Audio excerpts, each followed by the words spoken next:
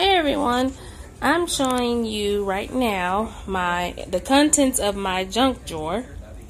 Sorry, it's shaky. As you can see here, I just pulled everything out, then I decided to film. But I haven't wiped anything down.